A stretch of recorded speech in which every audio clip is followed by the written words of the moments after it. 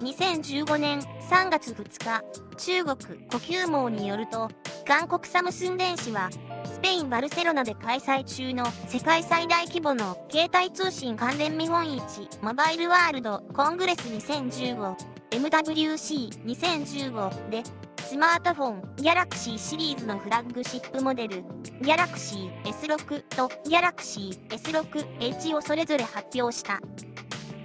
ボディのメイン素材に金属を採用メタルフレームとガラス素材を組み合わせたデザインは高級感があり Galaxy S6 Edge はディスプレイの左右が湾曲したエッジスクリーンになっている。バッテリーの取り外しはできなくなったが、新たにワイヤレス充電に対応。サムスンは充電時間は米アップルの iPhone6 より短いとしている。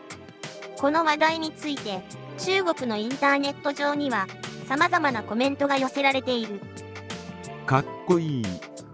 デザインの美しさでアップルに並んだ。メタルフレーム、ガラス素材、エッジスクリーン。もう完璧でしょこれって靴べら。美しいデザイン。でも買わない。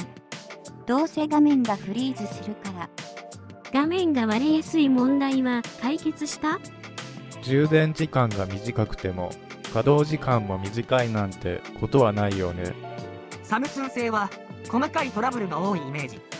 アフターサービスもすまないが、俺はもうサムスンから卒業すると決めたんだ。